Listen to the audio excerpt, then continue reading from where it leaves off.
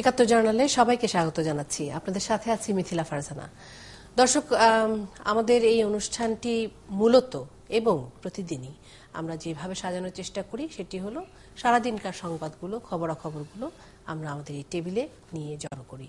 এবং সেই খবরাখবরগুলোর মধ্যে যেমন থাকে কিছু কিছু খবর যেগুলো আপনারা আগামীকাল সকালবেলাকার পত্রিকাতে পাবেন। কিছু কিছু খবর একটু পরেই দেখতে পাবেন অনলাইন নিউজ পোর্টালগুলোতে। সার্বক্ষণিক যে খবরগুলো আপডেট হচ্ছে সেই খবরগুলো আপনাদেরকে জানিয়ে দেব। এবং তার সঙ্গে সঙ্গে কিছু কিছু খবর থাকবে যেগুলো এই মুহূর্তে তাৎক্ষণিকভাবে ঘটে গেছে, সেগুলো আপনাদেরকে জানানোর চেষ্টা করব। আরও একটু জানিয়ে দিই যে খবরের পেছনের কিছু যদি জানবার সুযোগ থাকে, সেগুলো আপনাদেরকে নিশ্চয়ই বিনিময় করে সঙ্গে নিয়ে জানতে চাই, জানাতে চাই এবং সংবাদ সংশ্লিষ্ট যারা, তারা আমাদের সাথে এই অনুষ্ঠানে নিয়মিত যোগ দেন। আজকে যারা রয়েছেন, তারা হলেন প্রতিদিনের সংবাদের সম্পাদক আবু সাইদ খান এবং আমাদের অর্থনীতির সম্পাদক নায়মুল ইসলাম খান। আপনাদের দুজনকে একাত্তর জানালে স্বাগত জানাচ্ছি। বেশ কিছু খবর আছে আজকে? কিন্তু ছোট ছোট খবর, অনেক খবর। কম গুরুত্বপূর্ণ বলার কোনো মানে উপায় নেই, সবকিছুই হয়তো গুরুত্বপূর্ণ। আমি একটু জানিয়ে রাখি যে আমরা শুরুতেই বনানীর বাসা থেকে সংযুক্ত করে নিতে চাই ঢাকা উত্তরের সিটি কর্পোরেশনের মেয়র যারা মানিসুল হককে। তার আগে একটু এটিও বলে রাখি যে কেন তার কাছে আমরা যেতে চাই। বেশ কয়েকটি সিদ্ধান্ত এসছে। এই সিটি কর্পোরেশনের কাছ থেকে। একটি হচ্ছে ওই এলাকায় বিশেষ বাস সার্ভিস চালু হচ্ছে এবং কয়েকটি রুটে বাস সার্ভিস চালু হচ্ছে। আমি যদি ভুল না করে থাকি, তাহলে খুব সম্ভবত দুটি রুটে আপাতত চালু হচ্ছে। কাকলি থেকে আমেরিকান দূতাবাস পর্যন্ত আছেন মেয়র আমাদের সাথে সংযুক্ত হয়ে গেছেন বলে মনে হচ্ছে। এবং বেশ কয়েকটি রুটে বাস সার্ভিস চালু হচ্ছে। এইগুলো শুধুমাত্র এই এলাকার জন্য বাস সার্ভিসগুলো চালু হচ্ছে। আর কিছু বিশেষ রিক্সা, পাঁচশো রিক্সা এতে থাকবে। যারা তিনজন রিক্সা চালক বাই টার্ন বা বাই শিফট শিফটিং ডিউটি যেরকম থাকে, সেরকমভাবে এই রিক্সাগুলো চালাবেন। এবং এই রিক্সাগুলো শুধুমাত্র হলুদ রঙের এই রিক্সাগুলো শুধুমাত্র এই এলাকার মধ্যে ঘোরাফেরা করবে। এরকম রিক্সার নাম্বারও দেওয়া আছে, তাদের পোশাক নির্ধারণ করা আছে, তাদের ভাড়া বেঁধে দেওয়া আছে। এরকম একটি নতুন যানবাহনের ব্যবস্থা চালু করার কথা এসছে এবং আগামীকাল থেকে চালু হচ্ছে বলে আমরা জানতে পারছি। আমরা একটু ঢাকা উত্তর সিটি কর্পোরেশনের মেয়রকে সংযুক্ত করে নিতে চাই। আশা করছি তিনি আমার কথা শুনতে পাচ্ছেন। জনাব আনিসুল হক আপনাকে একাত্তর জানালে স্বাগত জানাচ্ছি।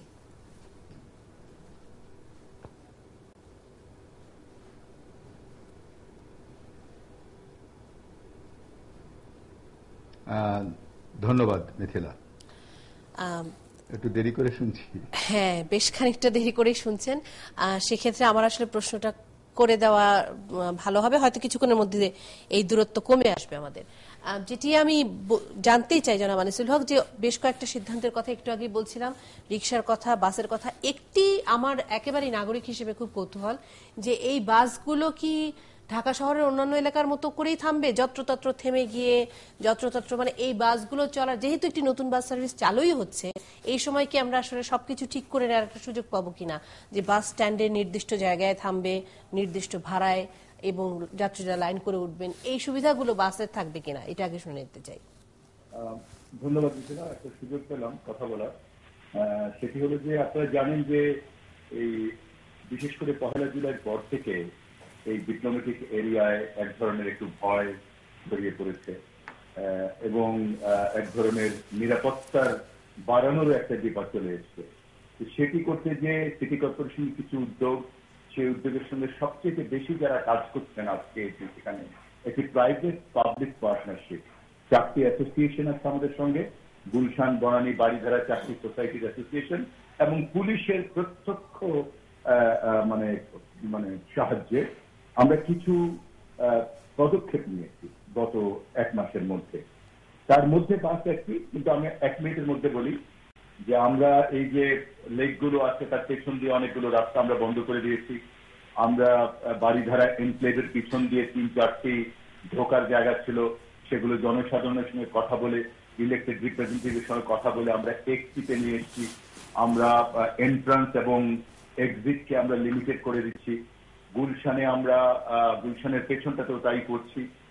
যেগুলো আমাদের লেক আছে, সেই লেকগুলোতে অনেক নৌকা চলতো। সেগুলোকে এক ধরনের শৃঙ্খলায় আনছি। যেমন বনানীতে আমরা চারটি গেট গুলশানে নটি গেট করার পরিকল্পনা করছি। এগুলো আবার উদ্যোগ নিচ্ছেন রেসপেক্টিভ অ্যাসোসিয়েশনগুলো। তো এটি করতে যে আমরা দেখেছি যে রিক্সায় একটা শৃঙ্খলা আনার প্রয়োজন। তো সবাই আইডিয়া নিয়ে আমরা কথা বলছি যে এই এলাকায় গুলশানে দুইশো, বনানীতে দুইশো নিকেতনে পঞ্চাশ বাড়িধারায় পঞ্চাশ, এমনি করে আমরা পাঁচশোটা রিক্সা আপাতত ঠিক করেছি এবং এগুলো করছেন অ্যাসোসিয়েশনের চেয়ে বেশি যারা এলাকার নির্বাচিত প্রতিনিধি তাদের ডিরেক্ট সাহায্যে। এক একটা রিক্সাওয়ালার কাছে তিনটা করে থাকবে, ড্রাইভার থাকবে, তাদেরকে অ্যাসোসিয়েশনগুলো প্রাইমারি একটা শিক্ষা দেবে। সিকিউরিটি শিক্ষা ভদ্রতার শিক্ষা, কি করে হ্যান্ডেল করতে হয় আমাদের যাত্রীদেরকে। তার পেছনে আমরা অলরেডি লাগিয়ে দিয়েছি যে রেট কোথায় কি হবে সেগুলো কিছু কিছু রিক্সা যারা চালান, রিক্সার মালিক যারা, তাদের সঙ্গে কথা বলে ঠিক করেছি। সুতরাং এক ধরনের শৃঙ্খলা ফিরে আসবে বলেই আমরা এটি করেছি। তার সঙ্গে এই বাস সার্ভিস কারণ পুলিশ বাস বন্ধ করে দিয়েছে। এর ভেতরে যা আগের বাস ছিল, যেগুলো পুরনো বাস ছিল, আমরা ভাগ্যক্রমে একটি সংস্থার কাছে ব্র্যান্ড নিউ বাস পেয়েছি। যারা সাহায্যও করছেন, ব্যবসা তো করবেনই, তবে সেভাবে ব্যবসা হয়তো হবে না। ব্র্যান্ড নিউ বাস আছে এয়ার কন্ডিশন দুটো রুট আমরা ঠিক করেছি, যেটি আপনি বললেন। একটি হলো গুলশান প্লাজা থেকে দু নম্বর পর্যন্ত হাতির ঝিল থেকে। আর একটি হলো কাকলি থেকে ঘুরে আমেরিকান এম্বাসির কোনা পর্যন্ত। প্রতি দশ মিনিট পর পর বাস চলবে। একটি বা দুটো করে আমরা মানে স্টপেজ ঠিক করেছি সেই স্টপেজ থেকে নেবে। ইনিশিয়ালি গুলশান সোসাইটি আমাদেরকে সাহায্য করছে পানি পানির ব্যবস্থা করে যে যেন আমরা পানি দিতে পারি। এবং ভাড়া ঠিক হয়েছে পনেরো টাকা। এই রুটে আপনি পানি মানে বাসের ভেতরে কি পানি সরবরাহ না বাসের বাইরে বাসের বাইরে। আমরা আপাতত একটি জায়গা থেকে কালকে শুরু করছি। তবে সবগুলো বাস স্ট্যান্ডে আমরা এই এই অ্যাসোসিয়েশনগুলো প্রাইভেট পাবলিক পার্টনারশিপের এদের সঙ্গে মিলে আমরা চেষ্টা করব যেন যারা ওখানে থাকেন তাদেরকে পানি দেওয়া যায়। কয়েক মাস এক দু মাস তো লেগেই যাবে সমস্ত স্ট্রাকচারে শুরুতে আমরা কালকে করতে যাচ্ছি। আপনার প্রশ্নের উত্তর হলো মিনিমাম ভাড়া পনেরো টাকা ম্যাক্সিমাম ভাড়া পনেরো টাকা। আপনি যতটুকু যান বেশি ঝগড়াঝাটি হবে না। তেমনি রিক্সার পনেরো থেকে বিশটি স্ল্যাব করা হয়েছে বেশি ঝগড়াঝাটি হয়তো করতে হবে না। এর সঙ্গে আর আধা মিনিট আমরা প্রত্যেকটি এলাকায় পার্সোনাল সিকিউরিটি টিম গড়ে তুলছি। অলরেডি বাড়িধারা সোসাইটি পঞ্চাশ জন করেছে নিকেতন সোসাইটি একশো সতেরো জনের মতো করেছে আহ, বনানী সোসাইটি একশো তিরিশ জনের মতো করেছে গুলশান সোসাইটি তাদেরকে রিক্রুটমেন্ট করছে। আমরা মনে করি এটা যদি ভালো হয় অন্য এলাকাতেও আমরা এটা রেপ্লিকেট করতে পারব। মা- মাননীয় মেয়র দুটি জিনিস। একটি হলো যে পনেরো টাকা আপনি বলছেন মিনিমাম ম্যাক্সিমাম কত বলে টাকা। না কোনো ম্যাক্সিমাম নেই ভাড়া একটি। ভাড়া কিন্তু আমরা অনলাইনে আমরা অনলাইনে দেখলাম সেটি পঁচিশ টাকা ম্যাক্সিমাম ভাড়া এটা যদি এটা ভুল হয়েছে কালকে ভুল হতেই আচ্ছা। পারে টাইপিং মিস্টেক হতে পারে। আচ্ছা, আচ্ছা। তো এটা পনেরো টাকা এবং একটি ভাড়া। আমরা জানি it is very difficult air condition brand new bus কালকে থেকেই নামছে। আপাতত আমরা বৃষ্টি দিয়ে শুরু করব। যারা চালাচ্ছেন তাদের কাছে চল্লিশটি বাস আছে। যতটুকু প্রয়োজন হয়। আরেকটি বিষয় আমি যেটি প্রশ্নটি রেখেছিলাম আহ, মাননীয় সেটি হলো যে যত্রতত্র বাস থামা থেকে আমরা কি না না না। হাতির ঝিল থেকে দুই নাম্বার পর্যন্ত একটা স্টপেজ দুই নাম্বার থেকে গুলশান এক নাম্বার পর্যন্ত। মাঝখানে বাস বাস কোথাও থামবে না? থামবে না জি না জি আচ্ছা, না। আর আচ্ছা। গুলশান এক নাম্বার থেকে দুই নাম্বার পর্যন্ত একটি স্টপেজ তেমনি এদিক থেকেও একটি একটি করে স্টপেজ আচ্ছা এক্ষেত্রে একটি জিনিস শুধু আমি একটু জানতে চাই যে যেটি মূল লক্ষ্য যে এখানে নিরাপত্তা নিশ্চিত করা, এই নিরাপত্তাটি কি আসলে সম্পূর্ণ নিশ্চিত করতে পারবেন বলে আশা করছেন যখন মানে পূর্ণরূপে ঢাকা শহরে ট্রাফিক জ্যাম লেগে থাকবে, বিশেষ করে এগারোটা, বারোটা, দশটা, এগারোটা, বারোটা এই সময়টায়, এই নিরাপত্তাকে নিশ্চিত রক্ষা করাটা সম্ভব হবে? পৃথিবীর কোথাও কেউ কোনো নিরাপত্তা নিশ্চিত করতে পারে না।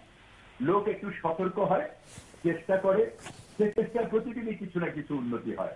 আবার একটা ভুল হবে, কোনো কিছু হবে, আবার তার পেছনে আমরা কাজ করব।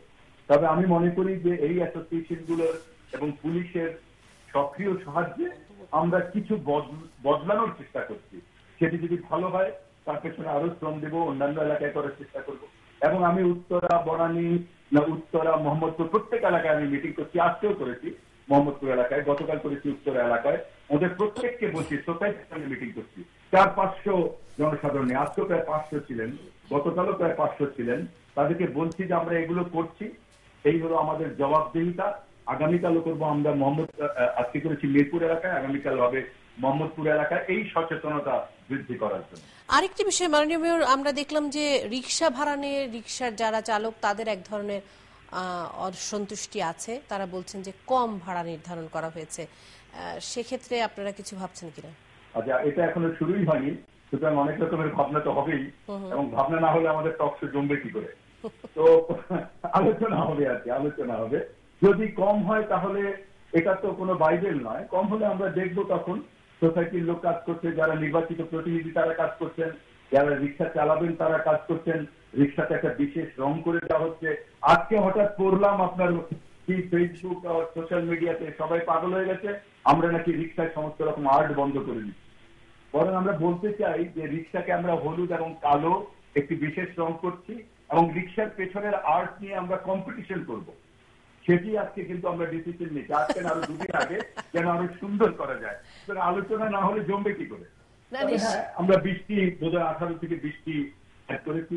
যদি প্রয়োজন হয় আমরা বাড়াবো। পনেরো টাকা মিনিমাম চল্লিশ টাকা ম্যাক্সিমাম যেমন মনে করেন প্রয়োজনে রিক্সা গঠন যেখানেই ঘুরেন পনেরো টাকা। না প্রয়োজনে রিক্সার গঠন চেঞ্জ পরিবর্তন করে সেখানে একটা পেন্টিং এর আলাদা করে ব্যবস্থা করা যেতে পারে বোধহয়। তার আগে নিরাপত্তাটা জরুরি মাননীয় মেয়র। নাইমুল ইসলাম খান জানতে চাচ্ছেন। জি। জি নানুল ভাই সালাম আলাইকুম। ভালো জি, আছেন ওয়ালাইকুম আপনি? আসসালাম। আনিস ভাই আপনাকে অনেক অনেক অভিনন্দন যে আপনি যখন মেয়রাল ইলেকশন করেন তার আগে মেয়র হয়ে যাওয়ার পরেও আপনি জানেন যে আপনার আইনের শক্তি খুবই কম আহ, কিন্তু মোরাল অথরিটি দিয়েই আপনি অনেক কাজ করছেন আপনারা অনেক কাজ করেছেন এবং আমরা ইমপ্রেসড এই সমস্ত কাজে। এবং এখনও যে কাজগুলি বললেন আমি আপনার সাথে একমত যে এইগুলি শুরু হলে তারপরে এগুলি ইমপ্রুভমেন্টের আরও অ্যাড অন করার জায়গা থাকবে। সুতরাং এখানে তবে রিক্সাটার ব্যাপারে একটা মনে হয় যে যেহেতু গুলশান বনানী এলাকাটা একটু বিদেশিদেরও ব্যাপার থাকে এই রিক্সাগুলি যদি আমাদের ট্রেডিশনাল ডেকোরেশন এবং রিক্সা পেন্টিংটা এখানে আপনি যে কথাটা বলেছেন, প্রতিযোগিতার ভিত্তিতে আরও চমৎকার করা যায়। এটা কিন্তু আমাদের বাংলাদেশের ইয়েটা মানে ইমেজটার জন্য পজিটিভ হবে। বরং সেটা আপনারা করতে পারেন, আমি আশা করি আপনি করবেন কিন্তু আমি নিরাপত্তার অন্য একটা দিক, যে এখানে গুলশান, বনানী বাড়িধারা বা এই এলাকাগুলোর বাসিন্দা, ভাড়াটিয়া, তাদের মনিটরিং এর জায়গাটা, যেমন একটা দিক আপনারা করছিলেন ওই যে ক্যামেরা এই ক্যামেরার ব্যাপারটা আরেকটু এক্সটেন্ড করা, প্রতিটি বাড়িতে ক্যামেরা বাধ্যতামূলক করা এবং তাদের ওখানে যারা গেস্ট আসে, যায় রেজিস্ট্রেশন এবার এই, আমি জানি না মানে আপনার তো আসলে এটা দায়িত্ব নয়, কিন্তু আপনি কি ওয়াকি বহাল যে এই অঞ্চলের এই এলাকাটার নিরাপত্তা বিধানে অন্যান্য আরও কি কি জিনিস করার কথা আপনি জানেন? ভাই থ্যাংক ইউ আপনার প্রশংসার জন্য ধন্যবাদ। ভোটই দিয়েছেন এই জন্য। তো আমরা দু মেয়রই যথেষ্ট চেষ্টা করছি নিজেদের মতো সিনসিয়ারলি আমি এটা বলতে চাই যে ক্যামেরা আমাদের যে ক্যামেরাগুলো আমরা বসিয়েছি এগুলো কিন্তু খুবই পাওয়ারফুল ক্যামেরা এবং এটা একটা ভালো আমরা কন্ট্রোল রুম করেছি। আপনারা আহ, ইয়ে দেখেছেন র্যাবের কাছে আপনারা একটা ফুটেজ দেখেছেন সেটি কিন্তু আমাদের ক্যামেরাতেই তোলা। তো ক্যামেরা দিয়ে তো আর কোনো সিকিউরিটি নেওয়া যায় কিন্তু সিকিউরিটি এটা ঘটে পরে বিশেষ করে ক্যামেরার এই পর্যালোচনাগুলো। এটা দিয়ে কোন রকম দুর্ঘটনা ঠেকানো খুব মুশকিল, তাহলে পৃথিবীতে আর কোনো দুর্ঘটনা ঘটতো না। তবে আমরা অনেকেই কিন্তু প্রাইভেটলি বিভিন্ন রোডে করেছেন। আমাদের কাউন্সিলররা করছেন। আমরা ছশো ছেচল্লিশটি ক্যামেরা লাগিয়েছি আরও পাঁচশোটি ক্যামেরা এই মুহূর্তে এই এনক্লেভ এবং মেইন রোড ধরে আমরা লাগাবো।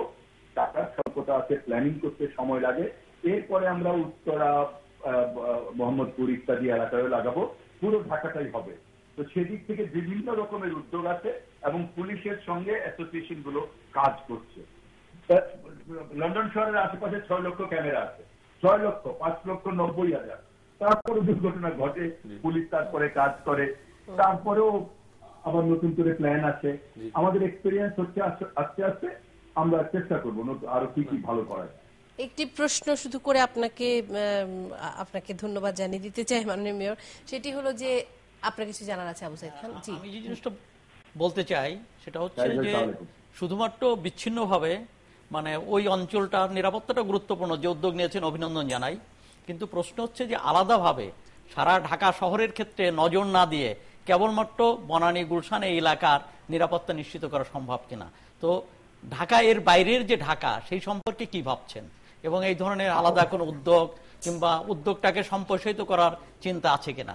সেটা আমার কাছে মনে হয় গুরুত্বপূর্ণ। আমি একটু একটু আপনার কাছে আহ, ক্ষমা চেয়ে নিচ্ছি যে আমাকে একটা বিরতিতে যেতেই হবে। আমি বিরতি থেকে আসছি কারণ আবু সাইদ খানের প্রশ্নটির উত্তরও জানতে চাইব।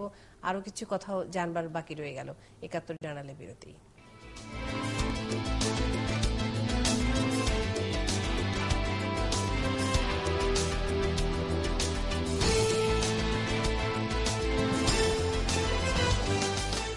জুলহাস তনয় হত্যায় জড়িত পাঁচ আসামি শনাক্ত। অবস্থান নিশ্চিত হলেই দ্রুত গ্রেপ্তারের আশাবাদ। তিন বছর ধরে পরিবার সহ নিখোঁজ রাজধানীর মহিউদ্দিন শরীফ, ঢাকায় বাড়ি থাকলেও চেনে না ভাড়াটিয়ারা। কাল থেকে বনানী ও গুলশান এলাকায় বিশেষ বাস সার্ভিস সড়কে নামছে রঙিন পাঁচশো রিক্সা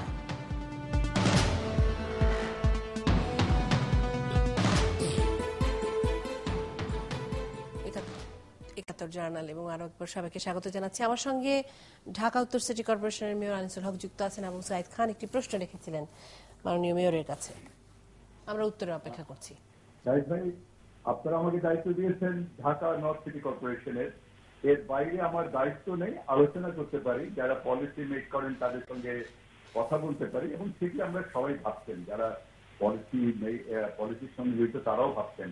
সুতরাং শুধু আজকে ভাবনাটা ডিপ্লোম্যাটিক এরিয়া অথবা ঢাকা বনা- বনানী গুলশান নিয়ে নয়। ভাবনাটা সারা দেশ নিয়েই। এবং সেদিক থেকে আপনারা দেখছেন যারা আমাদের সরকার চালাচ্ছেন, বিশেষ করে মাননীয় প্রধানমন্ত্রী হোম মিনিস্টার প্রত্যেকেই খুব সচেতন।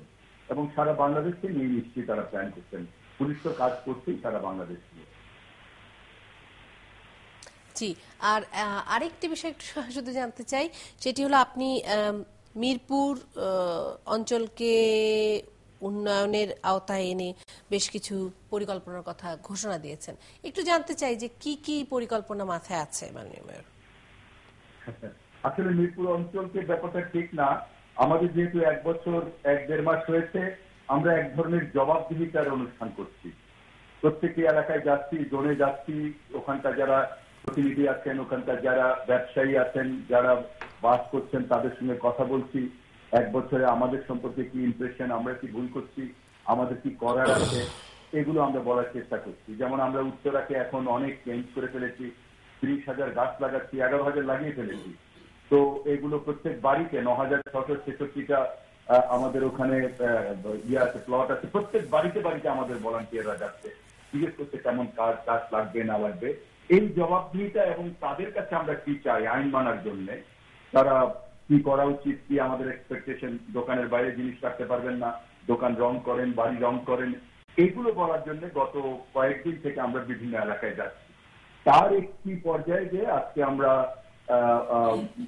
মিরপুর এলাকায় গিয়েছিলাম এবং তাদের আমরা বলেছি যে আগামী দু বছরে আমরা প্রায় সাড়ে ছশো থেকে সাতশো কোটি টাকার কাজ করব মিরপুর এলাকায় এবং এই কাজটা আমরা প্ল্যান করেছি। কাজটা টেকনিক্যাল ডিটেইল করেছি। যেহেতু সরকার আমাদেরকে একটি বরাদ্দ দিয়েছেন, আজকে থেকে আগামী এক বছর কবে, কখন এর টেন্ডার হবে, কবে টেন্ডার আমরা উদ্বোধন করব, কবে টেন্ডার এক্সিকিউট হবে এবং কবে কাজ শেষ হবে, সেই পর্যন্ত প্ল্যান আমরা এবছর জুলাই মাসের আগে করে ফেলেছি। যেটা গত বছর আমরা প্রায় পাঁচ, ছ মাস দেরিতে ছিলাম, কারণ আমরা নিয়েছিলাম জুন মাসে দায়িত্ব।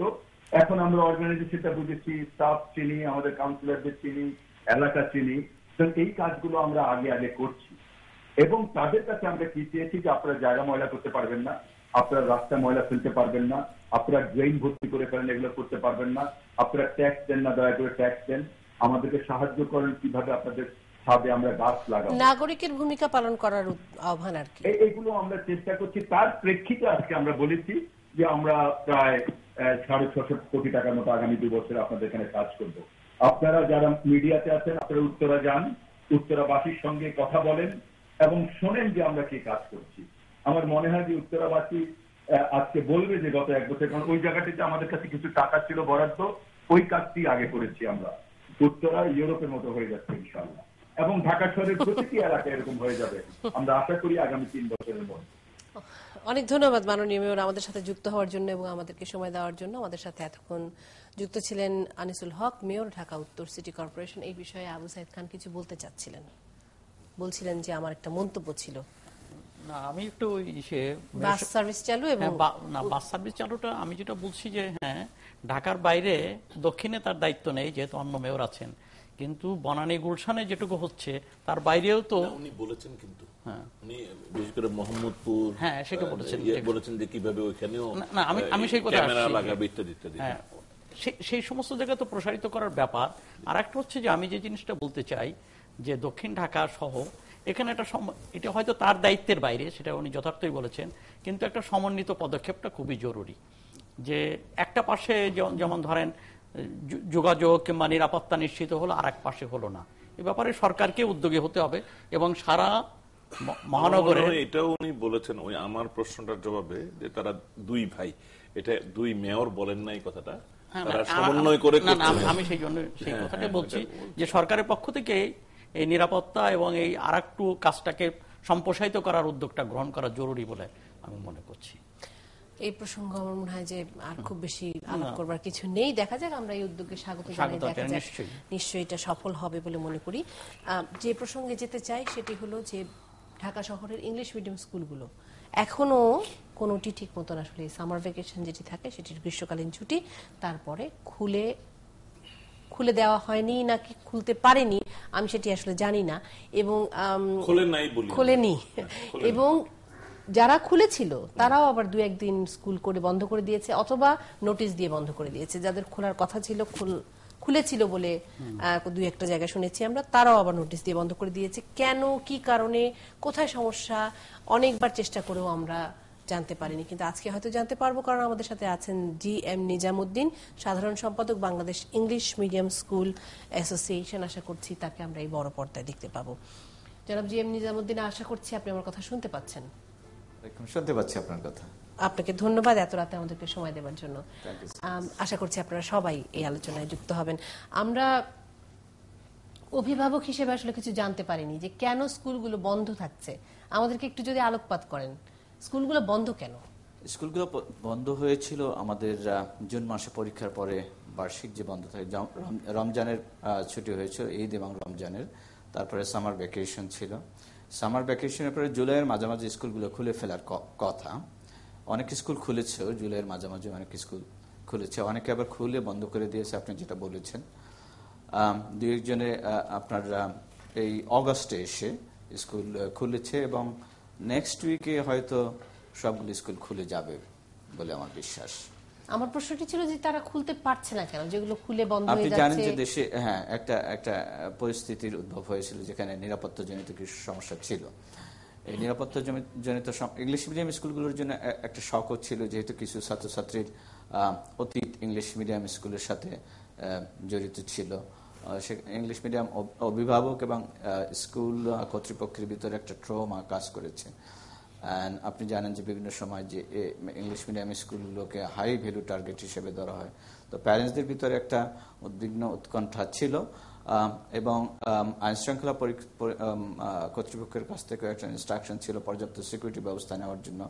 অভিভাবকদেরও অনুরোধ ছিল। এই জন্য বিভিন্ন স্কুল তাদের যার যার সিকিউরিটি সিচুয়েশন অ্যানালাইসিস করেছে। অনেক স্কুলে আপনি জানেন যে বিদেশি শিক্ষক আছে তাদেরও একটা কনসার্ন ছিল। বিদেশি ছাত্রছাত্রী আসছে তাদেরও কনসার্ন ছিল তো সব স্কুলগুলো তাদের নিজস্ব সিকিউরিটি সিস্টেম এভালুয়েট করে ব্যবস্থা নিয়েছে। যেমন অনেকে আর্টসওয়ে গেট বসিয়েছে সিকিউরিটি স্ক্যানিংয়ের ব্যবস্থা করেছে। অনেকে তাদের চারপাশের দেওয়াল আরও বড় করেছে। এরপরে সিকিউরিটি ক্যামেরার ব্যবস্থা করেছে। এই ব্যবস্থাগুলো নিতে কিছু স্কুলে সময় লেগেছে। এই কারণে একটু ডিলে হয়েছে। আমি আরেকটি বিষয় একটু জানতে চাই যে আমরা শুনেছি আপনারা আইন শৃঙ্খলা রক্ষাকারী বাহিনীর দেশ কর্তৃপক্ষের সাথে বসেছিলেন এবং তারাও আপনাকে আপনাদেরকে কিছু পরামর্শ দিয়েছেন। সেরকম ভাবে কি কাজ করার কথা ভাবছেন কিনা আপনারা? জি জি।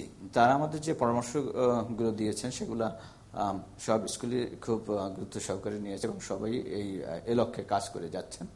তো এর ভিতরে আমি যেটা বললাম যে ক্লোজ সার্কিট ক্যামেরা বসানো, চারপাশের দেয়াল উন্নীত করা, বড় করার বিষয়গুলো আছে সিকিউরিটি স্ক্যানিং এর ব্যবস্থা করা তারপর পর্যাপ্ত আলোর ব্যবস্থা করার চারিদিকে। উই আর ডুইং দ্যাট এগুলো করতেই আসলে কিছুটা সময় লেগেছে। আর কর্তৃপক্ষের আরেকটা ইয়ে ছিল যে তাদের সহযোগিতা চাওয়া বিভিন্ন এই গুলশান বনানীতে যে স্কুলগুলো আছে, আপনি জানেন যে এখানে স্কুলগুলোতে নিয়মিত পুলিশ সদস্যগণ আসা যাওয়া করেন, তারা খোঁজখবর নিচ্ছেন। দ্যাট ইজ হ্যাপেনিং তবে একটা বিষয় ছিল কনফিডেন্স যেটা অনেক স্কুল খুলেছে উইথ কনফিডেন্স আবার অনেকের ভিতরে প্রয়োজনীয় আস্থাটা যে খুলবো কি হবে। আমাদের ইংলিশ মিডিয়াম স্কুলে আমাদের স্কুলটা শুরু হয় তিন বছরের বাচ্চা থেকে একেবারে আঠারো উনিশ বছরের বাচ্চাদের নিয়ে। তো যখন ছোট ছোট শিশুরা যেখানে আছে সেখানে নিরাপত্তার বিষয়টা আমাদের খুব ভাবিয়েছে কারণে একটু সময় লেগেছে অনেক খুব অনেকের খুব। ইসলাম খান কিছু জানতে চান আপনার কাছে? আমি দুটো জিনিস। একটা হচ্ছে যে আপনাদের স্কুলগুলোর মধ্যে কি কোনো কোঅর্ডিনেশন বা আপনাদের এখনকার যে পদক্ষেপগুলি নিচ্ছেন সেগুলির মানে এক্সপিরিয়েন্স শেয়ারিং এরকম আছে কিনা? যেমন আপনি যেরকম বললেন যে আগামী সপ্তাহের মধ্যে বাকিগুলি খুলে যাবে কিন্তু আমি আমার মেয়েদের স্কুল দিয়েও কিন্তু এটা নিশ্চিত হতে পারি নাই। ইন্ডিকেশন হচ্ছে যে এই মাসের একেবারে শেষ দিকে গিয়ে হয়তো খুলবে। এরকম একটা ইন্ডিকেশন ইন্ডিকেশন অন্তত। তা, তারপরে আপনি ঠিকই বলেছেন যে সিকিউরিটির জন্য যত রকমের পদক্ষেপ নেওয়ার সেটার চেষ্টা করা হচ্ছে এবং সেখানে ছাত্রছাত্রীদের ক্ষেত্রেও মানে তারা কীভাবে কি যাবে, কত আগে যাবে সিকিউরিটির জন্য কি কি ব্যবস্থা নেওয়া হচ্ছে, এগুলি আমরা কিছু কিছু ইন্ডিকেশন পাচ্ছি। কিন্তু যেটা হচ্ছে যে আপনাদের মধ্যে কোঅর্ডিনেশন এবং মানে আপনি যেটা বললেন যে কারোর কনফিডেন্স একটু বেশি, কারোর কনফিডেন্সটা কম, এই প্রেক্ষিতে আমি বলছি সেখানে আপনাদের কালেকটিভ ডিসিশন হয়তো একজনের কনফিডেন্সের ঘাটতি পূরণ করতে সাহায্য করতো। আপনাদের সেটা আছে কিনা বা আপনারা এই ব্যাপারে উদ্যোগী হবেন কিনা? থ্যাংক ইউ নয়ন ভাই। আপনি খুব গুরুত্বপূর্ণ কথা বলেছেন। হ্যাঁ আমাদের কালেকটিভ অর্থাৎ একত্রিত হয়ে স্কুলগুলোর সিদ্ধান্ত নেওয়া। আপনারা জানেন যে আমরা একটা অ্যাসোসিয়েশন আমাদের আছে, Bangladesh English medium school association এখানে অনেক স্কুল এখনও এই অ্যাসোসিয়েশনের মেম্বার হয়নি। যারা বিচ্ছিন্নভাবে আছে। তো আমরা একটা মিটিং ডেকেছিলাম। গত সপ্তাহে আমাদের একটা মিটিং হয়েছিল। সব স্কুল পার্টিসিপেট করেনি। অনেক স্কুলই সেখানে গিয়েছিল। আমরা সমন্বিত কিছু সিদ্ধান্ত সেখানে নিয়েছি যে আমরা স্কুলগুলো খুলব। এবং আমাদের নিরাপত্তার যে ইনস্ট্রাকশন আইন শৃঙ্খলা রক্ষাকারী বাহিনী আমাদেরকে দিয়েছে, সেটা প্লাস আমাদের যে নিজস্ব সিকিউরিটি সিস্টেম আছে, সেটাকে স্ট্রেনথেন করা, এই বিষয়গুলো আমরা আলোচনা করেছি সেখানে। হ্যাঁ সেখানে সব স্কুল ছিল না। এবং সব স্কুল যদি থাকতো, তাহলে আমাদের পক্ষে আরও হয়তো কোঅর্ডিনেটেড ওয়েতে কাজ করা সম্ভব হতো। আমাদের আরেকটা ইয়ে আছে, Bangladesh English medium school forum তারাও নিজেদের ভিতরে বসেছে এবং আলোচনা করেছে। তাদের মতো করে সিদ্ধান্ত নিয়েছে। তবে সবগুলো স্কুল যদি একত্রিত হতো, একটা ব্যানারে থাকতো, তাহলে হয়তো আমাদের সম্মিলিতভাবে বিষয়গুলো মোকাবিলা করা আরও সহজ হতো। আর স্কুল খোলার বিষয়ে যেটা, এই অগাস্টে যেমন আট, সাত তারিখ, ছয় তারিখ, সাত তারিখ, আট তারিখ অনেক স্কুল খুলেছে এবং অনেক হয়তো নেক্সট উইকে পনেরো, ষোলো তারিখ ষোলো তারিখ ডেট দিয়েছে। পনেরো তারিখের পরে খুলবে। এরকম ইনফরমেশন আমার কাছে আছে। আমরা খোঁজ খবর নিয়েছি সব স্কুলের সাথে জনাব নিজামুদ্দিন আমি একটু শুধু আপনার কথার মাঝখানেই যোগ করি যে আমি একটি স্কুলের কথা অন্তত আপনাকে নিশ্চয়তা দিয়ে বলতে পারি নাম বলছি না যে ষোলো তারিখে খুলবার কথা ছিল কিন্তু আজকেই নোটিশ দিয়ে আগামীকালকে খুলে দেওয়া হচ্ছে স্কুলটি। মানে এই যে ষোলো তারিখ পর্যন্ত খুলতে বন্ধ রাখার সিদ্ধান্তটাই বা কেন হলো? আবার হুড়োহুড়ি করে আগামীকালকেই বা কেন খুলে দেওয়া হচ্ছে? মানে কি কনফিডেন্সের অভাব ছিল এবং কি কনফিডেন্স যুক্ত হলো এই মধ্যে? এই হ্যাঁ, নিজাম হ্যাঁ, সাহেব, এই- জায়গাটাতে আমিও একটা কথা যোগ করি আপনি একসাথেই কমেন্টটা করেন যে ধরে নিলাম যে দুইটা অ্যাসোসিয়েশন আছে একই ব্যানারে আসাও সব সময় তো সহজ না। ধরেন এটা দরকারও নাই কিন্তু ধরেন ঢাকা মেট্রোপলিটন পুলিশের কমিশনারের নেতৃত্বেও তো আপনারা দুই গ্রুপ একসাথে বসে এটা কোঅর্ডিনেটেড কারণ আমি একটা কথা বলি কারণ এই যে তারতম্যগুলো প্যারেন্টস হিসেবে আমাদের মধ্যে কিন্তু আবার এটা শঙ্কা তৈরি করে। তো এবং আমার বাচ্চাদের মধ্যেও কিন্তু শঙ্কা। মানে এখন একটা মানে ক্লাস ওয়ান টুর ছেলে মেয়েও কিন্তু মানে ইংলিশ মিডিয়ামে আইসা পড়া পড়ে। তারা অ্যাটাক শব্দটা বলতে পারে যে স্কুল অ্যাটাক হলে সে কি করবে? সে সে জানতে চায় সে তার প্যারেন্টস কে টেলিফোন করার জন্য ইমিডিয়েটলি ব্যবস্থা থাকবে কিনা প্যারেন্টস গিয়ে তাকে উদ্ধার করবে কিনা। তো আমি আপনাদের স্কুলের ইন্টারনাল যে নিরাপত্তা ব্যবস্থাটা করবেন তার সাথে প্লিজ ট্রাই টু কনসিডার যে ছাত্রদের মধ্যেও এইরকম কোন উদ্ভূত পরিস্থিতি আল্লাহ না করুক, সেরকম কিছু না হোক, কিন্তু কোন পরিস্থিতি হলে ছাত্রদের ছাত্রদের ইয়েটা কনফিডেন্সটা বিল্ড আপ করারও কিন্তু একটা প্রোগ্রাম স্কুলের থাকতে হবে ছাত্ররা যেন আর ভয়টা না পায়। এই দিকটাও আপনারা যদি একটু গুরুত্ব দেন।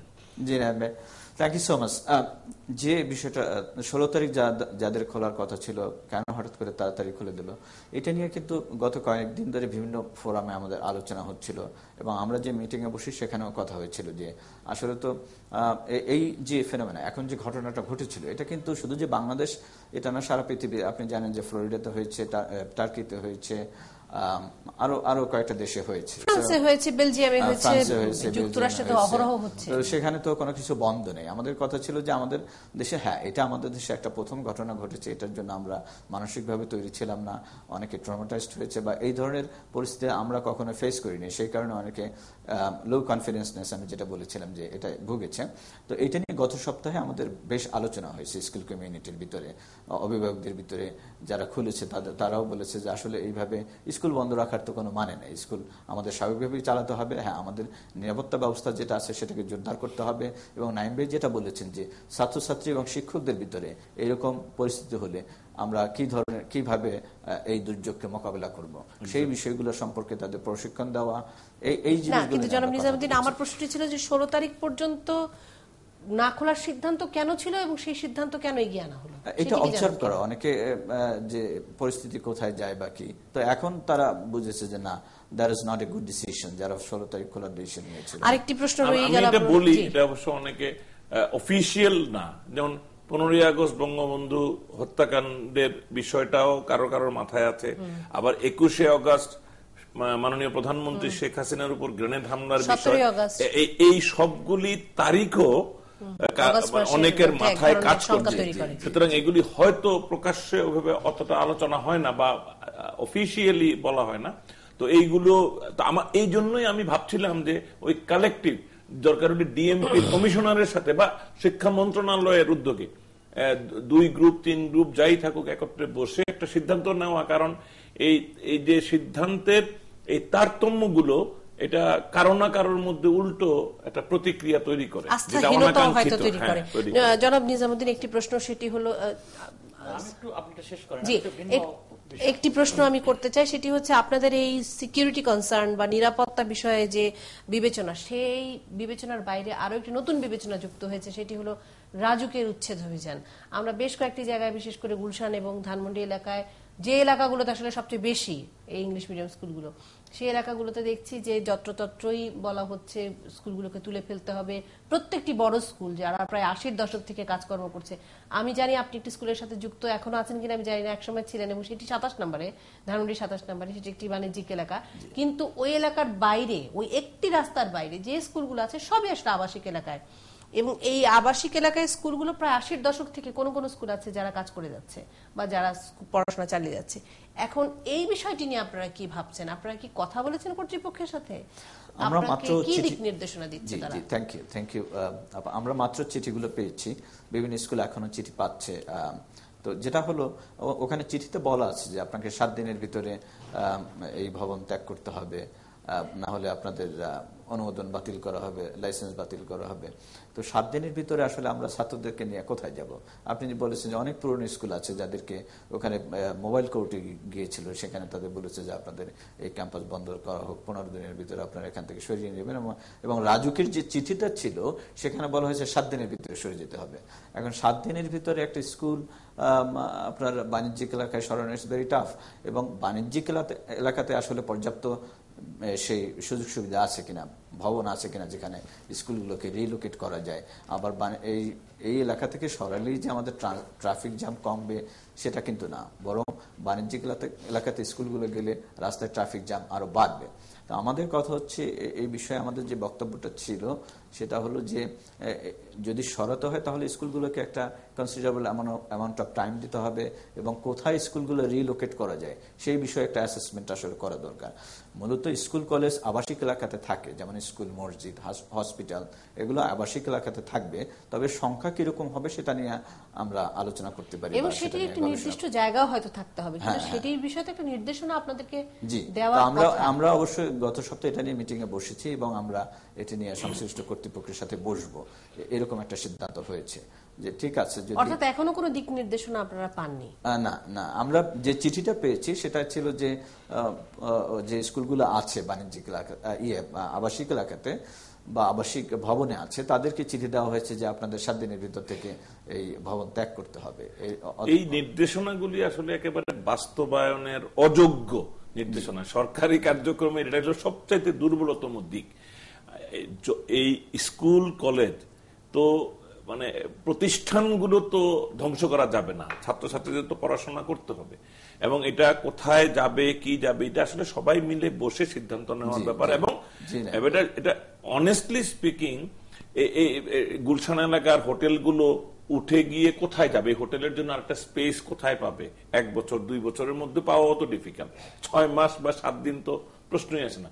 তবে যাই হোক যেহেতু সরকারও জানে এগুলি বাস্তবায়নযোগ্য না সুতরাং আমার মনে হয় না অত বড় কোনো অ্যাকশন হবে, কিন্তু আমার মনে হয় আপনাদের নিজস্ব উদ্যোগেই হ্যাঁ মানে হ্যাঁ, হ্যাঁ, না। আলোচনাটা তো চালাতে হবে। আলোচনা চালিয়ে একটা সমাধান বের করতে হবে। জি না এইটা স্কুলগুলোর ভিতরও এবং অভিভাবকদের ভিতরে অনেকটা আতঙ্ক বিরাজ করতেছে। অনেক অভিভাবক ফোন দিচ্ছে যে আসলে তাহলে কি হবে আমাদের বাচ্চারা কোথায় যাবে স্কুলটা বন্ধ হয়ে যাচ্ছে কিনা? এভাবে ফোন দিচ্ছে স্কুলে যাদের যারা চিঠি পেয়ে পেয়েছে। একটা আতঙ্ক কাজ করতেছে এবং স্কুলগুলো স্কুল না খোলার পিছনে এ- এটাও কিন্তু আহ, কিছুটা দায়ী দিলে করে খোলা। আচ্ছা এই ক্ষেত্রে আমি যেটা বলতে চাই মানে সেটা হচ্ছে যে ঠিক আছে এটা গভর্নমেন্টের সঙ্গে বোঝাপড়া হবে কোথায় যাবে কি যাবে না কিন্তু ছেলে মেয়েদের পড়াশোনা যেন ক্ষতিগ্রস্ত না হয় এই বিকল্প ব্যবস্থার দাবিটা সামনে থাকা দরকার। যে এটা সদস্য সরকারের কাছেও আমাদের দাবি যে ছাত্রছাত্রীদের পড়াশোনা যেন হ্যাম্পার না হয়। এই এই স্কুলটা বন্ধ করে যেমন দু একটা স্কুলের দু একটা ক্যাম্পাসকে বলা হয়েছে যে এটা আপনাদের মোবাইল কোর্ট গিয়ে বলেছে যে আপনাদের এই ক্যাম্পাসটা বন্ধ করে বন্ধ করে দেওয়া হলো বা পনেরো দিনের ভিতরে আপনারা এখান থেকে উঠে যাবেন না হলে আপনাদের উচ্ছেদ অভিযান করা হবে। সেই ক্ষেত্রে কিন্তু স্কুলগুলা অনেকটা শঙ্কিত যে over is going to happen হ্যাঁ? এবং স্কুল ডিলে করে খোলার এটা এটাও একটা কারণ। তো আমরা আমি যেটা আপনাকে একটা ভিন্ন বিষয় বলতে চাই। যে এই যে জঙ্গিবাদ মোকাবেলার প্রশ্নে একটা জিনিস উঠে এসছে যে ইংলিশ মিডিয়াম স্কুলগুলো কিংবা প্রাইভেট ভার্সিটিতে সেখানে যে আমাদের যে শিক্ষা কারিকুলাম রয়ে গেছে সেগুলো খানিকটা ইতিহাস, ঐতিহ্য আমাদের সংস্কৃতি থেকে খানিকটা বিচ্ছিন্ন। এই দাবিটা বিভিন্ন মহল থেকে বিভিন্ন আলাপ আলোচনার মধ্যে উঠে এসছে। এবং এখানে তো আমাদের এই সংস্কৃতির সাথে, ইতিহাস, ঐতিহ্যের সঙ্গে ইংলিশ মিডিয়ামের স্কুলগুলোর একটা সমন্বয়টা জরুরি। তো এই ধরনের কোনো আলোচনা আপনাদের ফোরামে আলোচিত হচ্ছে কিনা। কিংবা কারিকুলাম চেঞ্জ করার ক্ষেত্রে কিংবা সংযোজন করার ক্ষেত্রে কোনো উদ্যোগ আছে কিনা? এই ব্যাপারটা আমি থ্যাংক ইউ সাহিদ ভাই। এই বিষয়টা নিয়ে আমাদের বক্তব্য একটু পরিষ্কার করা দরকার। সেটা হলো ইংলিশ মিডিয়াম স্কুল যদিও আমরা ইন্টারন্যাশনালিজম বা আন্তর্জাতিকতা শিখাই তার মানে এই না যে দেশের সংস্কৃতি কালচার কৃষ্টি বাদ দিয়ে এটা দেশের সংস্কৃতি আন্তর্জাতিক আন্তর্জাতিকতাবাদের একটা অংশ। আমাদের যে স্কুলগুলোতে আমরা যেমন, আমাদের যে জাতীয় দিবসগুলো আছে, এটা গুরুত্বের সাথে পালন করা হয়, আমরা বাংলা পড়াই, বাংলাদেশের ইতিহাস পড়াই বাংলাদেশের স্টাডিজ, বাংলাদেশের অর্থনীতি পড়াই, এবং তবে হ্যাঁ আমরা যেটা বলেছি যে কোথাও যদি, যেহেতু কথাগুলো উঠছে, এর হয়তো নিশ্চয়ই কোনো গ্রাউন্ড রিয়েলিটি আছে, কোথাও কোথাও হয়তো বিষয়টা ততটা গুরুত্বের সাথে না হতে পারে। তো আমরা সেদিন আমাদের যে অ্যাসোসিয়েশনের মিটিং ছিল, সেখানে আমরা বলেছি যে এই বিষয়টা যেন অতি গুরুত্বের সাথে দেখা হয়। তার কারণ বাংলাদেশ আপনি জানেন যে আমরা এক হলো বাঙালি, আমরা কিন্তু শান্তির পক্ষে, আমরা শান্তিকামী জাতি। আমাদের আমাদের মুক্তিযুদ্ধের মূল কথা ছিল যে আমরা একটা সেকুলার রাষ্ট্র হব, সবাই মিলে শান্তিতে বসবাস করব, এখানে সামাজিক ন্যায় বিচার থাকবে। এই জিনিসটাকে ধারণ করা, আবার যেটা ইসলাম ধর্মের কথাও বলা আছে, ইসলাম কিন্তু একটা শান্তির ধর্ম, এখানে কিন্তু আপনার সেই সন্ত্রাস বা এগুলোর কোনো জায়গা নেই। তো ইসলাম বা আমাদের বাংলাদেশের যে স্বাধীনতার মূলনীতি, এই জিনিসগুলো যেন আরও ভালো করে ছাত্রছাত্রীদের মনের ভিতরে প্রতি কারিকুলামের মাধ্যমে আমাদের প্রতিদিনকার প্রাতিষ্ঠানিক প্র্যাকটিসের মাধ্যমে বা টিচারদের বিভিন্ন রকমের অ্যাক্টিভিটির মাধ্যমে ছাত্রছাত্রীদের ভিতরে যেন এটা আরও সুন্দরভাবে কিছু কিছু প্রতিষ্ঠান আছে যেটা সরাসরি বিদেশি কারিকুলামকে অনুসরণ করা হয়। বাংলাদেশের সঙ্গে তার কোনো সম্পর্ক নেই। এমন কিছু প্রতিষ্ঠান তো আছে। ইয়েস সাইদ ভাই, সেটা হলো বিদেশি কারিকুলাম যেমন বাংলা, এটা কিন্তু একটা রিকোয়ারমেন্ট আমাদের রেজিস্ট্রেশন রিকোয়ারমেন্ট বাংলাটা পড়াতে হবে, বাংলাদেশে বাংলাদেশে স্টাডিজ আছে আমাদের একটা সাবজেক্ট সেখানে বাংলার ইতিহাস, বাংলার আপনার সাহিত্য বাংলার অর্থনীতি, এই বিষয়গুলো আছে ওখানে। সেটা বিদেশি কারিকুলাম হলেও that is designed on on the perspectives of Bangladesh বাংলাদেশের মতো করে সেটা ডিজাইন করা। এবং বাংলার যে বইটা আমরা পড়াই সেটা কিন্তু বোর্ডের যে বই বাংলা মিডিয়ামের যে বইটা পড়ানো হয় একই বই পড়ানো হয়। আমি নিজাম ভাইয়ের সাথে একটু অ্যাড করি যে কারিকুলাম মানে ধরেন এডেক্সেল বা ক্যামব্রিজ এটা কারিকুলাম জি। কিন্তু আমি ওই এডেক্সেল বা ক্যামব্রিজের আমার মেয়ে এক মেয়ের কাছে আমি প্রশ্নের মুখোমুখি হয়েছি। যে বাবা তুমি কেন মুক্তিযোদ্ধা হইতে পারো নাই? আমার আরেক মেয়ে এসে বলে তুমি কেন বীর শ্রেষ্ঠ হইতে পারো নাই? তার মানে ওই ইংলিশ মিডিয়াম স্কুলে এগুলি তাকে তার আলোচনায় আছে। আদারওয়াইজ আমি এই প্রশ্নের মুখোমুখি হয়েছি কেন? তো আমার কিন্তু এটা একটা এক সময় ছিল আমাদের ইংলিশ মিডিয়াম স্কুলে জাতীয় পতাকা উঠতো না জাতীয় সংগীত গাইতো না বা জানতো না এগুলি কিন্তু ছিল এক সময়। হয়। এক্স্যাক্টলি কিন্তু এখন কিন্তু ওই সিচুয়েশন আপনি- সঠিক বলেছেন। আমরা কিন্তু সমস্ত যেমন একুশে ফেব্রুয়ারি ছাব্বিশে মার্চ ষোলোই ডিসেম্বর এগুলো খুবই গুরুত্বের সাথে হ্যাঁ পয়লা বৈশাখ পয়লা বৈশাখ আমি পয়লা বৈশাখ আমরা খুবই কালারফুল হতে পারি। এবং প্রতিদিন আমাদের স্কুলগুলোতে জাতীয় যোগ সংগীত করতে চাই শুধু আমি জানি না সাইদ ভাই যে সংখ্যাটা আবু সাইদ খান যে সংখ্যাটা প্রকাশ করছেন সেটি হয়তো ছোট ছোট কিছু স্কুলে আছে কিন্তু যেগুলো প্রধান মূল ধারার ইংলিশ মিডিয়াম স্কুল সেগুলো প্রত্যেকটিতেই কিন্তু জাতীয় দিবস অত্যন্ত গুরুত্বের সাথে পালন করা। হয়। মিনা বাজার পয়লা বৈশাখ নাগরদোলা বৈশাখী মেলা ইত্যাদি ইত্যাদি বেশ গুরুত্বের সাথে পালন করা হয়। আমি জানি না ছোট ছোট স্কুলগুলো সব জায়গায় এটাকে নিশ্চিত করছে কিনা। সেই দিকে হয়তো আপনি। ন্যাশনালি আমাদের একটা মিসআন্ডারস্ট্যান্ডিং হয়। আমার ধারণা বাংলাদেশে সাম্প্রতিক জঙ্গিবাদীদের ব্যাকগ্রাউন্ড চেকের পর আমাদের মাথায় যে ইংলিশ মিডিয়াম বা প্রাইভেট ইউনিভার্সিটি এসছে এটা কিন্তু এইটা প্রমাণ করে না যে এখানেই কেবল। আসলে আগে ধারণা ছিল যে মাদ্রাসাটাই ব্রিডিং গ্রাউন্ড আর কোথাও না। আমি বলব এখন এই সমস্যাটা আমাদের প্রমাণিত হয়েছে। এটা আমাদের একটা সামগ্রিক সার্বিক সমস্যা। কোনো কিছুই কোনো কিছুর বাইরে না কিন্তু কোনো কিছু আবার আলাদা করেও যে টার্গেট করা যে হ্যাঁ, নর্থ সাউথই সমস্ত গোলমালের মূল কিংবা ইংলিশ মিডিয়ামই খারাপ। আসলে এখন আর কোনো ভেদাভেদ নাই। মাদ্রাসায়ও ঝুঁকি আছে ইংলিশ মিডিয়ামও ঝুঁকি আছে। সুতরাং এটা আমাদেরকেও সেভাবেই এটা জাতীয় সমস্যা হিসেবে আমাদেরকে বিবেচনা করতে হবে এবং সকলকেই সতর্ক থাকতে হবে। অনেক ধন্যবাদ জি এম নিজামুদ্দিন আমাদের সাথে যুক্ত হওয়ার জন্য এবং আমাদেরকে সময় দেওয়ার জন্য একটি বিরতির সময় হয়েছে।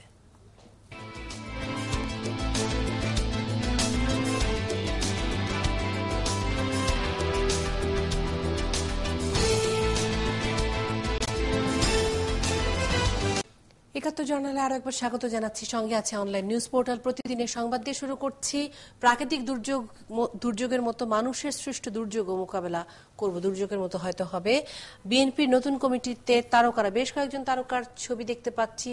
যদি ভুল না করে থাকি গাজী মাজহারুল আনোয়ার এবং চলচ্চিত্রের নায়ক এক সময়কার উজ্জ্বল সংগীত শিল্পী বেবি নাজনীন ইনি বোধহয় মনির খান এনার নাম গায়ক সংগীত শিল্পী এবং আহ, খুব সম্ভবত ইনি রিজিয়া পারবেন আমি যদি ভুল না করে থাকি। এই সকলেই আছে বিএনপির নতুন কমিটিতে এবং সেতুমন্ত্রীর ভাইকে হত্যার হুমকিটি গতকালকের একটি খবর আমরা দেখেছি অনলাইন নিউজ পোর্টালগুলোতে। পদবঞ্চিত নেতাদের অপেক্ষার পর এগুলো দুটোই গতকালকের খবর। বুধবার থেকে গুলশানে চলবে নতুন বাস ও বিশেষ রঙের রিক্সা আগামীকালকে থেকে চলবে সেরকম আগামীকাল না আসলে আজকে সকাল থেকে চলবে। তৈরি পোশাক উৎপাদনে বৈচিত্র্য আনতে আহ্বান জানালেন রাষ্ট্রপতি। বন্ধ হচ্ছে দুশো চারটি ইন্টারনেট সেবাদাতা প্রতিষ্ঠান।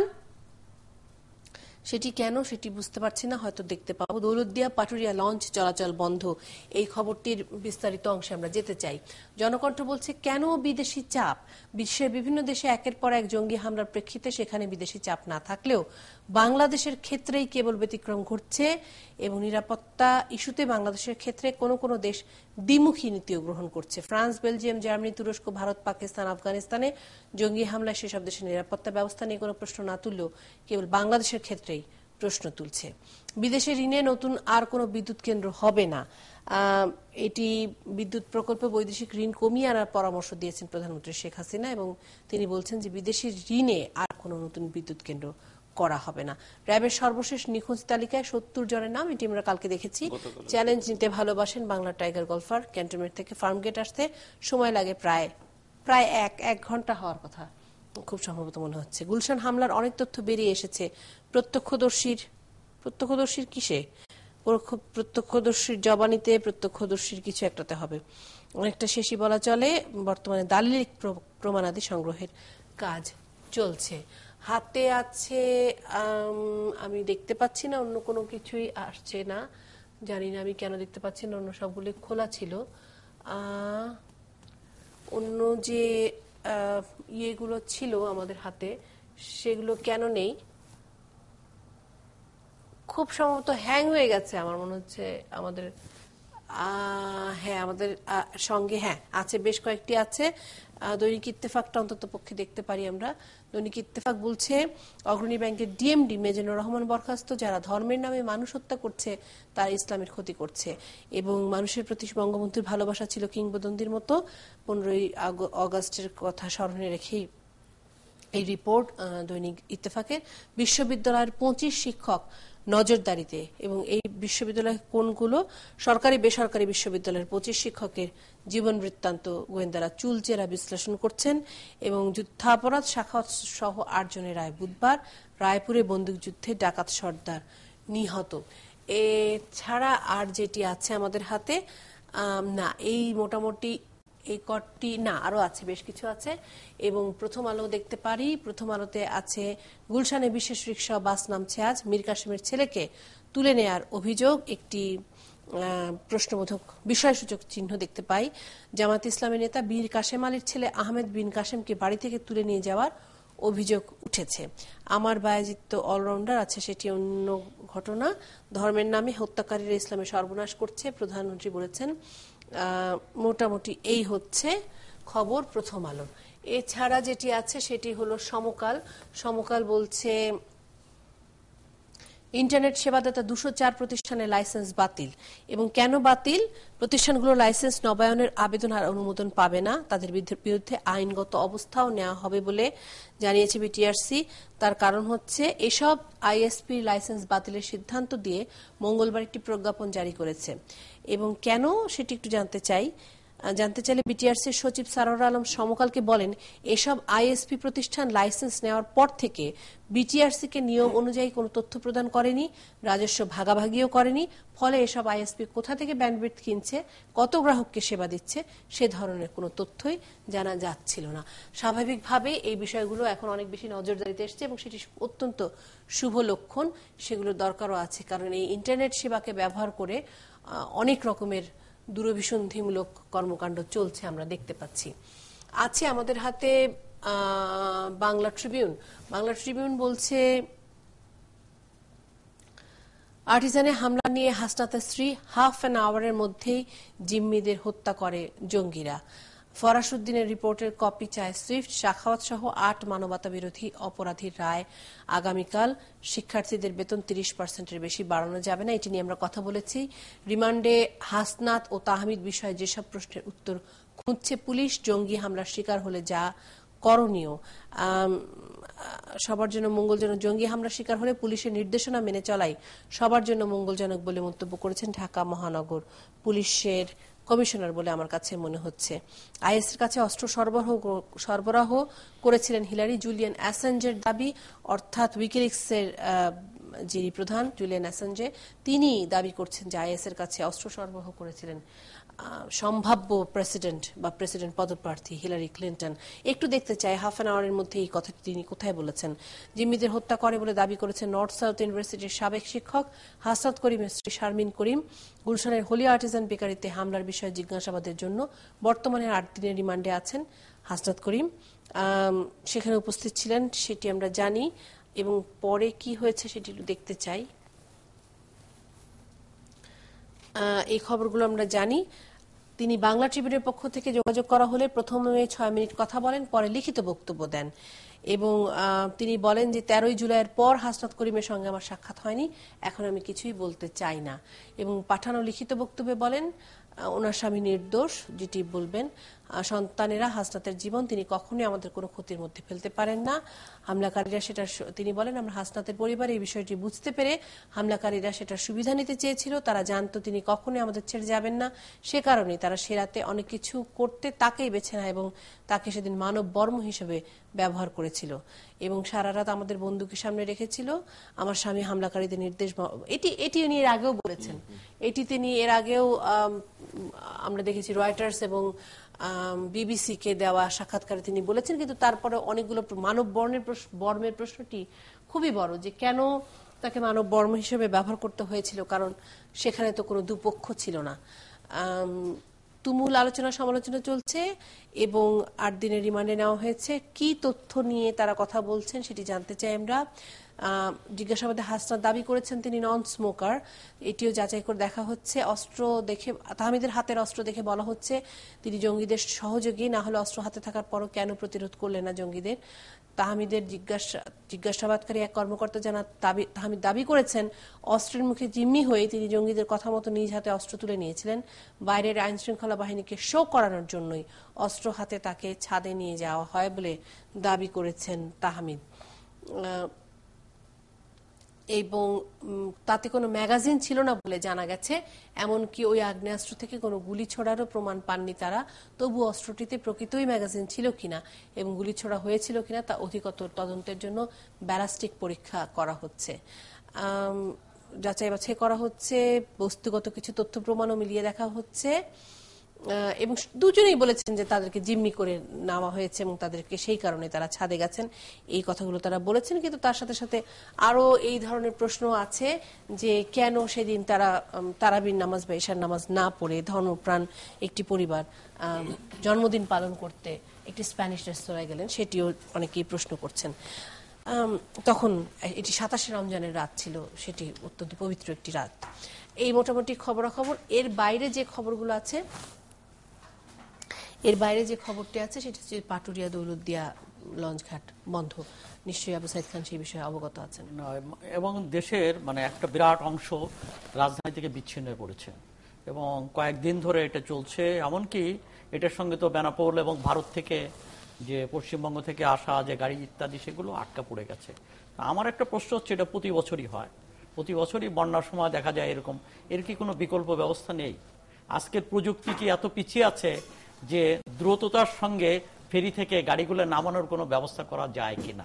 আমার মনে হয় যে আমরা যদি বাইরে একটু তাকাই ইসে মানে প্রযুক্তি এত পিছিয়ে নেই। কেন আমরা জরুরি ভিত্তিতে যুদ্ধের সময় বিভিন্ন সময় দেখি যে দ্রুত ফেরি থেকে গাড়ি নামিয়ে দিতে পারে। তো সেই ধরনের অল্টারনেটিভ অ্যারেঞ্জমেন্ট করা যায় কিনা সরকারের ভাবা উচিত বলে আমি মনে করি।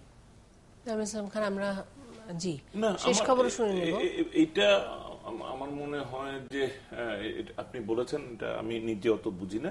নিশ্চয়ই সরকার এটা বিবেচনা করে দেখবেন। কিন্তু আমাদের এই বন্যাটা অনেক দিন পরে কিন্তু একটা বড় বন্যা বড় বন্যা হয়েছে। কিন্তু জঙ্গিবাদের ইস্যুটার কারণে আমাদের সামগ্রিক যে মনোযোগ এবং আমাদের যে সমর্থন মানে মিডিয়ার সমর্থন আমাদের ভলান্টিয়ার ভলান্টারি সমর্থন যে সাংস্কৃতিক সংগঠন বা সামাজিক সংগঠনরা যেরকম করে এগুলি কিন্তু পায়নি। যার ফলে আমাদের এই এই বন্যা এলাকার আহ, বন্যার্তরা যতটা মানে অধিকারী ছিলেন ততটা সাহায্য সহযোগিতা সহানুভূতি কিন্তু পান নাই। তাদের যে মানে দুঃখ কষ্ট সেটা লাঘবে আমাদেরকে সে- সেরকম পাশে পান না এটা অত্যন্ত খারাপ হয়েছে। এবং মিডিয়ারও আমরাও আসলে নেগলেক্ট করেছি দীর্ঘ সময়। এমনকি এখনও কিন্তু পর্যাপ্ত কাভারেজ নাই। কাভারেজ নাই। আমি আমার আমার সাংবাদিকতার শুরুর দিকে অষ্টআশির বন্যা আমি কাভার করেছি। সারা দেশ ঘুরেছি মানে বন্যাট্য এলাকাতে আমার কাছে মনে হয় বাংলাদেশের কোন রিপোর্টার সে যদি বন্যা কাভার করে, তাহলে তার জনমুখী সাংবাদিকতার জন্য, সে বাংলাদেশের সাংবাদিকতার জন্য সবচেয়ে উপযুক্ত হয়ে গড়ে ওঠে। আমরা সাংবাদিকতার ছাত্র হিসেবে আমরা পড়েছি যে এক্সিডেন্ট রিপোর্টিং করলে, এগুলি তো ওয়েস্টার্ন বই আমরা বেশি ফলো করতাম। তো বলতো যে, একজন নতুন রিপোর্টারের জন্য এক্সিডেন্ট রিপোর্টিং এর দিয়ে হাতে খড়ি হওয়া ভালো, তাহলে নাকি রিপোর্টিং এসে ভালো হয়। আমার কিন্তু বরাবর মানে আমার কর্মজীবনে এসে মনে হচ্ছে বাংলাদেশের জন্য ভালো রিপোর্টার হবে সেই যে বন্যা রিপোর্টিং করে। একেবারে বাংলাদেশের রিয়েল বাংলাদেশে, বাংলাদেশের সাধারণ মানুষ খেটে খাওয়া মানুষের জীবন তাদের চ্যালেঞ্জেস এবং তাদের রেজিলিয়েন্স মানে তারা কীভাবে নিজেদেরকে মানে আবার আবার দাঁড় করায় এগুলি অসাধারণ একটা অভিজ্ঞতা হয়। আমার এই ক্ষেত্রে মনে হয় কি যে এখন যেটা করণীয় সেটা হচ্ছে বন্যাত্তর পুনর্বাসন। অনেক বাড়ি ঘর ভেঙে গেছে সেগুলোকে পুনর্নির্মাণ করা এবং বিশেষ করে শস্য বীজ। তো তারা তো বীজগুলো নষ্ট হয়ে গেছে। তো কৃষকরা যাতে রবি শস্য ই করতে পারে এই শস্য বীজটা সরকার থেকে সরবরাহ করা প্রয়োজনীয় ওষুধ এবং এমনকি গোখাদ্য এগুলো সরবরাহ করার ব্যাপারে এই ব্যাপারে একটা পরিকল্পিত ব্যবস্থা নেওয়া দরকার। কমপক্ষে বিশটি জেলা ক্ষতিগ্রস্ত হয়েছে আমরা একটু শুনতে পারি আমাদের মানিকগঞ্জেও প্রতিনিধি মনিরুল ইসলাম মিহির আছেন আমাদের সাথে সংযুক্ত স্কাইপে থেকে তার কাছে একটু শুনে নিতে পারি।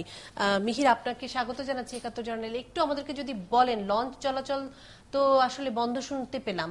আহ, দৌলতদিয়া ঘাটে কি অবস্থায় আছে এখন? একেবারেই কি যানবাহন চলাচল করছে না? হ্যাঁ মিথিলা লঞ্চ চলাচলটা আসলে প্রবল পদ্মায় প্রবল স্রোতের কারণে সন্ধ্যা সাতটায় বন্ধ করে দেওয়া হয়।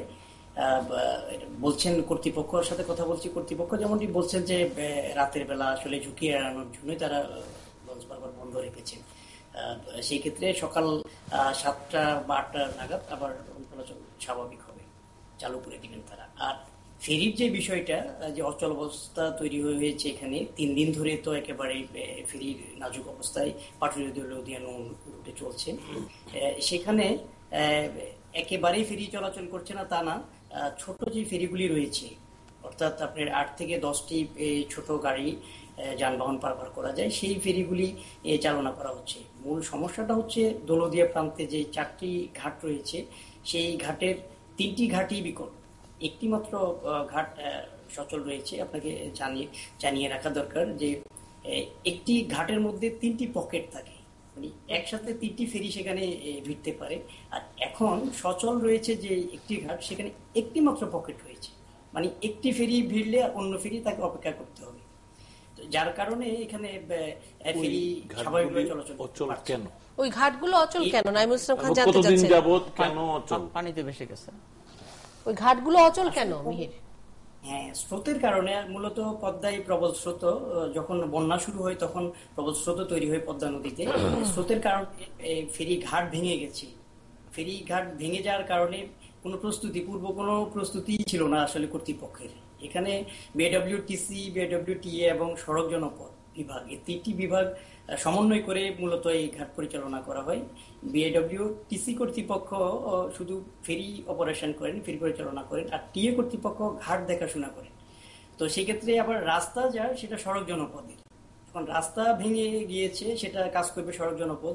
আর টিসি কর্তৃপক্ষ তাদের ফেরি তারা মিহির একটু যদি জানান জি বুঝতে পারছি যে সেগুলো তাদের ভিন্ন ভিন্ন সংস্থার দায়িত্ব অর্পিত হবে।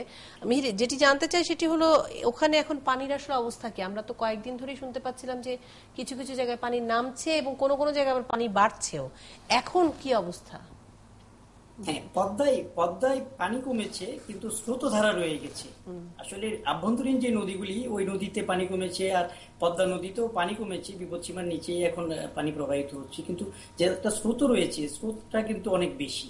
স্রোতের কারণে যে ঘাটের এবং স্রোতটা এমন জায়গায় সেটা ঘাটের উপরে আঘাত হানছে। আপনি ঘাটগুলি রিপেয়ার বা রিপেয়ার করার বা পুনঃস্থাপন করার সর্বশেষ কোন সমন্বিত উদ্যোগের কথা আপনি জানেন কিনা মিহির মানে খুব শীঘ্রই হবে রবিবার সর্বশেষ গত রবিবার তিন দিন আগে যখন চারটি ঘাটি বন্ধ হয়ে যায় তখন বিআইডব্লিউটিসির চেয়ারম্যান এবং বিআইডব্লিউটি এর চেয়ারম্যান সহ উদ্বোধন কর্তৃপক্ষ তারা ছিলেন এবং ঘাট পরিদর্শন করেছেন। সেখানে মেরামতের কাজও চলছে। সড়ক জনপদ বিভাগ তাদের রাস্তা মেরামতের কাজ করছে। আর বিআইডব্লিউ টিএ কর্তৃপক্ষ তাদের ঘাট মেরামতের কাজ করছে। মিহির আমি একটু একটু একটু জিনিস একটু শুনে নেই আপনার কাছ থেকে নিশ্চিত হয়ে নেই। সেটি হচ্ছে ঘাটটা তো মেরামত করলে আসলে হবে না। যতক্ষণ না স্রোত কমে ততক্ষণ পর্যন্ত তো আসলে ফেরি ঘাটেই ভিড়তে পারবে না যদি আমি ভুল না বলি। হ্যাঁ আপনি ঠিকই বলেছেন মিথিলা। আসলে তারা চাচ্ছেন যে ঘাট স্থানান্তর করতে। স্থানান্তর করার জন্য যেখানে সেটা একটা দীর্ঘ প্রক্রিয়া সময় লেগে যাবে। এই মুহূর্তে একটা একটা জায়গা থেকে অন্য জায়গা অন্যত্র যদি ঘাট স্থানান্তর করতে হয় সেখানে সময় লেগে যায়। আর স্রোতের কারণে আসলে স্থানান্তরের যে প্রক্রিয়া যে যন্ত্রপাতি যে জিনিসপত্র লাগবে সেগুলিও আমরা দেখলাম যে এখানে খুব একটা নেই। আর পূর্ব যদি বর্ষাকালে এমনটি ঘটবে এটাই স্বাভাবিক। জনগণও বলছেন আসলে যারা সচেতন তারাও বলছেন। পূর্ব যদি প্রস্তুতি থাকতো সেক্ষেত্রে হয়তো বা এই অবস্থা এখন তৈরি হতো। কিন্তু আচ্ছা, প্রতি বছর তো আসলে বন্যা হয় না। বন্যা না এবার বন্যা অনেক ভয়াবহ। আচ্ছা বন্যা হলেও হয় বন্যা না হলেও হয়। কেন আমার অভিজ্ঞতা আছে কেননা আমি তো ফরিদপুর থেকে এবং আমি ফেরিতে আটকে পড়ে গেছি এমন ঘটনা আমার রয়ে গেছে। প্রবলেমটা হচ্ছে যে ঘাটগুলোর পাশ থেকে ভেঙে যায়। তখন পাড়টা ভেঙে যায়। হ্যাঁ পাটটা ভেঙে যায় তখন গাড়ি এখান থেকে নামতে পারে না। তো ফেরির পর নামলেও উপরে গাড়িগুলো যেতে পারে না, ওখানে দূরত্বটা তৈরি হয়। সেখানে যদি অল্টারনেটিভ ব্যবস্থা করা যায়, যে দ্রুততার সঙ্গে সেখানে এমন একটা মানে পথ করে দেয়া, যে যাতে গাড়িগুলো যেতে পারে। স্রোতের কারণে ব্যাহত হয়, কিন্তু সেইটা আমার কাছে বড় সমস্যা নয়। বড় সমস্যা হচ্ছে যে পাড়টা ভেঙে যাওয়ার কারণে এখানে এক ধরনের দূরত্ব তৈরি হয়। এটা হচ্ছে বড় সমস্যা। এবং গর্ত তৈরি হয়ে যায় আর কি হ্যাঁ গর্ত তৈরি হয়ে যায় সেগুলো থাকে। যে কারণে গাড়ি। পারাপার করতে পারে না। যে কারণে আমি বলছিলাম যে এই পারাপারের যে ফেরির সঙ্গে দ্রুত উন্নততর কিনা? প্রযুক্তি আছে কিনা সেটা ভেবে দেখা উচিত। সেটি নিশ্চয়ই ভেবে দেখা হবে এবং মনিরুল ইসলাম মিহির আপনাকে অনেক ধন্যবাদ। আপনাকে শেষ খবর দেওয়ার জন্যই আমরা সংযুক্ত করেছিলাম, আমাদের হাতের সময় শেষ। নাইবুল ইসলাম খান, ধন্যবাদ আপনাকে। আবু সাইদ খান, আপনাকে ধন্যবাদ। ধন্যবাদ দর্শক, আপনাদেরকেও আপনারা আছেন, আমাদের সাথে যুক্ত থাকবেন এবং একাত্তরের সাথে থাকবেন সেই প্রত্যাশা নিয়ে। শুভরাত্রি সবাইকে।